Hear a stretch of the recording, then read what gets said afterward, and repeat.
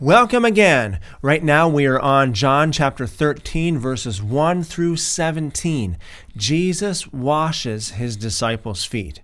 Now, as a side note here, um, I want to talk about the word disciples. Perhaps there are some people who are watching this who you don't really know what the word disciple means, or what does it mean to have disciples? Well, the word disciple is actually just a fancy word which means student. You know, so Jesus and his disciples is basically just Jesus and his students.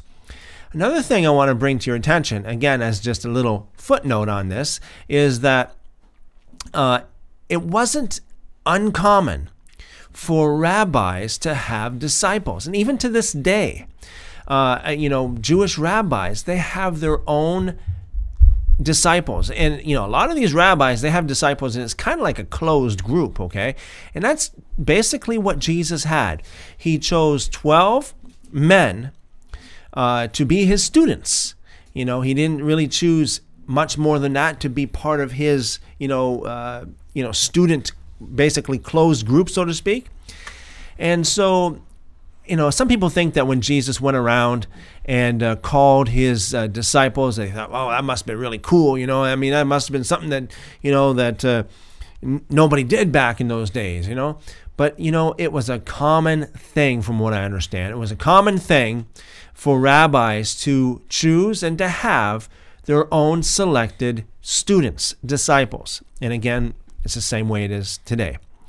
So, now in context, uh, we just came from Jesus' triumphant entry into Jerusalem. People are more or less proclaiming him to be the Messiah. Hosanna. Uh, you know, blessed is he who comes in the name of the Lord. Uh, calling out for him to save, calling him the, uh, the king of Israel. So, it's just a very awesome scene here. And uh, I explained last time that a lot of people, a lot of people in that position, if you know, a lot of people in Jesus' position, if they were in Jesus' position and they were basically ushered into the throne almost, uh, you know, they would just soak it all in. You know, a lot of celebrities or a lot of religious leaders today would just soak it all in. You know, I can just imagine, you know, some politicians or leaders, you know, if they're proclaimed king, you know, they'd be waving at the people, shaking hands, you know, kissing and all this kind of stuff. What did Jesus do? He just came right in. They proclaimed him to be more or less the king, uh, the Messiah. Right away, he turned around and said, You know, you have to follow me. If you serve me, you follow me. And guess where I'm going? I'm going to be crucified. I'm going to be sacrificed. And he started talking about sacrificing your life. And he started talking about all these hard sayings, you know, that very hard for people to um, for people to accept. And then we come into this story. Jesus washes his disciples' feet. Again, to see the the gravity of what's happening here, you got to see it in context. Okay, Jesus is, you know, at the pinnacle, at the peak of his ministry, and what does he do? He doesn't soak in all the attention and, you know, allow himself to become proud or arrogant. Rather, he humbles himself even more. He speaks harder. he speaks hard words and he humbles himself even more. And he washes his students' feet. Let's read it. This is John chapter 13, verse 1. Now, before the feast of the Passover, that's Pesach in the Hebrew, Jesus, or Yeshua, knowing that his time had come, that he would depart from this world to the Father, having loved his own who were in the world, in other words, loving his disciples, he loved them to the end. During supper, the devil having already put into the heart of Judas Iscariot, Simon's son, to betray him. It was the devil here that came into Judas' heart and put it in his heart to betray his his teacher, his rabbi, his beloved friend. Okay? As it says in the book of Psalms, you know, my friend has has lifted up his heel against me. You know, so the you got to wonder these disciples, especially Judas, okay? They walked with Jesus. They talked with Jesus. They were with him day in and day out. They heard and they saw some of the most marvelous and amazing things that anybody could ever see in all of the history of mankind. You would think that all of the 12 disciples would have been the holiest of holy men and that they would have been the best of the best. But you wonder how Judas, having seen what he's seen, having heard what he heard, having experienced what he experienced, could allow Satan, the devil, to come into his heart as he did. It could have been, and most likely, the, the, the straw that broke the camel's back, so to speak, probably was the alabaster jar of perfume that Mary broke. And Judas was angry over that. You know, he was angry because he lost a lot of money because he, you know, he wasn't supposed to take any money, but he was a thief and that that little bottle of perfume, they say about 12 ounces worth, was worth a whole year's pay. That's a very expensive perfume, and uh, and Judas was very angry, and so when you get a chip on your shoulder, that is when the basically you pave the way for the devil to come in. And that's what happened to Judas. Verse 3 Jesus, knowing that the Father had given all things into his hands, and that he came from God and was going to God, arose from supper and laid aside his outer garments. He took a towel and wrapped a towel around his waist. Then he poured water into a basin and began to wash the disciples' feet and to wipe them with the towel that was wrapped around him. Then he came to Simon Peter. He said to him, Lord, do you wash my feet? You know, Simon didn't want Jesus to touch his feet. It's like, no, I'm not worthy. Remember when he when he first got called, he's like, Lord, I'm not even worthy to be your disciple at all.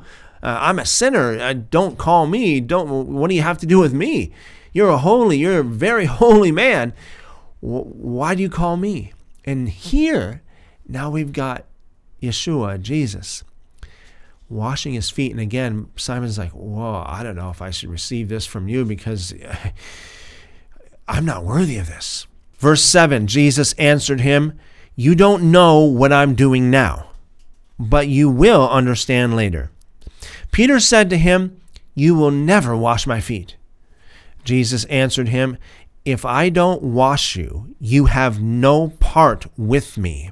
Simon Peter said to him, Lord, not my feet only, but also my hands and my head.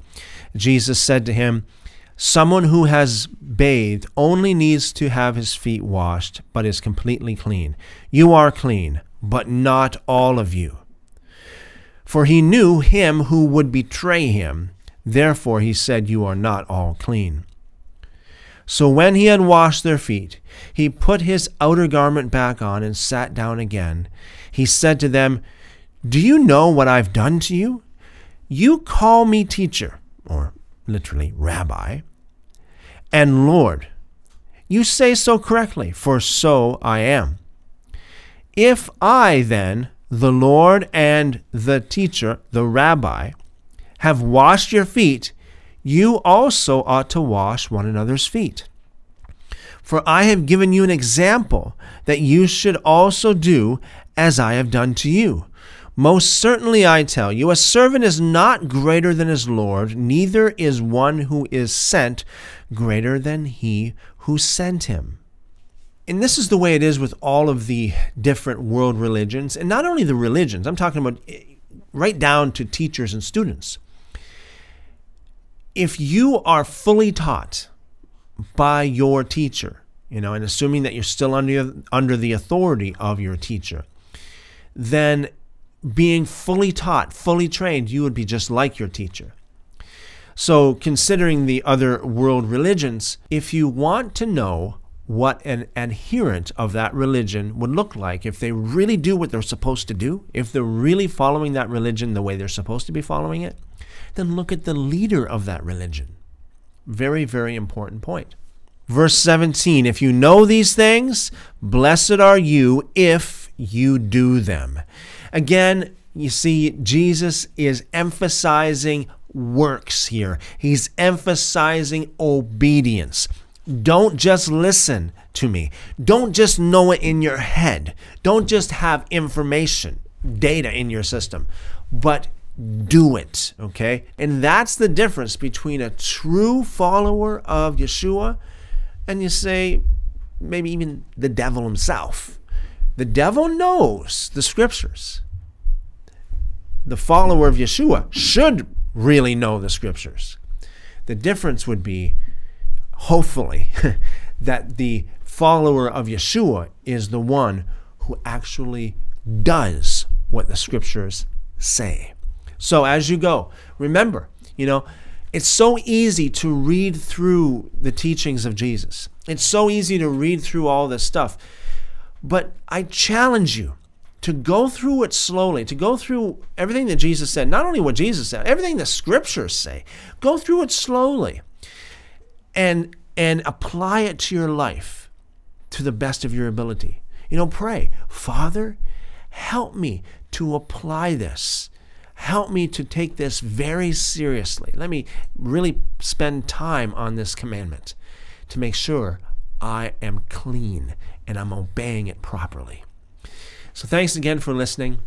And as you go, may God bless you with strength and power, give you the ability to obey Him as you should. Thanks again.